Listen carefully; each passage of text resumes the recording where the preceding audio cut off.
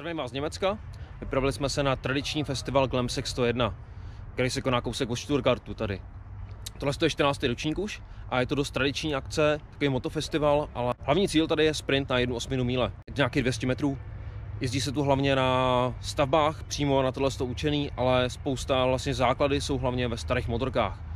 Najdete tady i nějaký sériové motorky, všechno je to třeba od 50. 60. let do 80. Novější tady jsou občas, není to úplně častý zase, takže samý stylovky. Mají to, je to oficiální akce podporovaná spousta značek, takže tady mají stánky i BMW, Harley, Triumph, nevím kdo všechno teďka.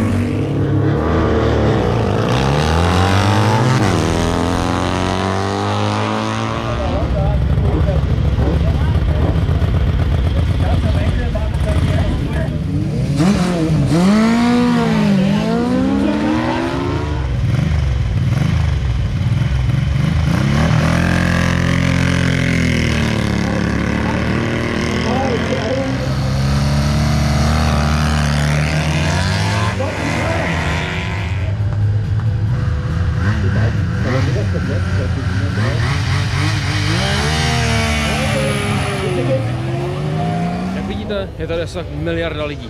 Ale nedivím se, protože je to fakt skvělá akce. Každý by si se měl zajet. Kdo má rád motorky, upravené motorky, prostě je to tady fajn. Viděli jsme sprinty uh, třídy Triumph, třídy BMW, potom klasiku a teďka nás čekají Sultans Sprint, což bude hodně zajímavý si myslím, protože mají dobrý speciály a mají k tomu takovou show ještě zajímavou. Die Sultans, die schrauben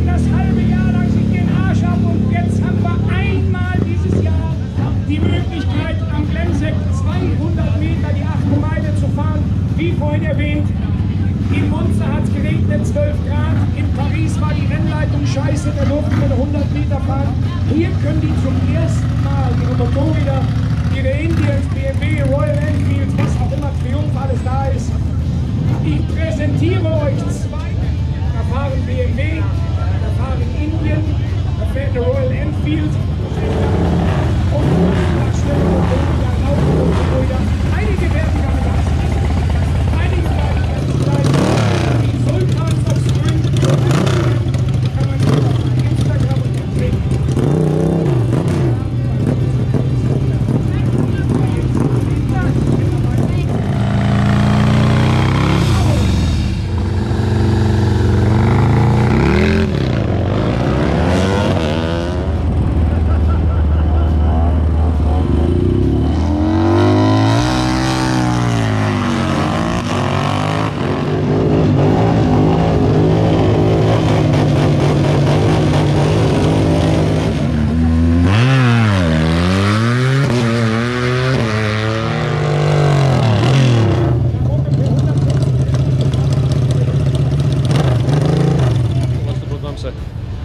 Bylo to náročné docela, protože pařilo sluníčko, ale hrozně dobrá akce. Fakt pro ty, kdo to mají rádi, určitě sem přijeďte.